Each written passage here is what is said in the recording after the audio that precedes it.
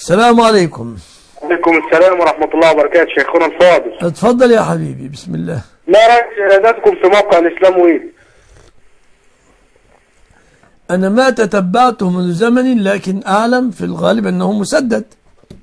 لكن بس ينتبه لأن كثير من الفتاوى يغلب عليها الطابع الحنبلي. أن العاملون فيه حنابلة. ويأخذون من كثيرون من العاملين فيه كانوا حنابلة ما أدري الوضع تغير ولا لا. ويفتون بفتاوى الحنابلة طبعا. يعني يستأنس بها شيء؟ يستأنس به لكن ليس إليه المنتهى في كل شيء. أه، سمعت أحد الأخوة يقول إنه خلاص.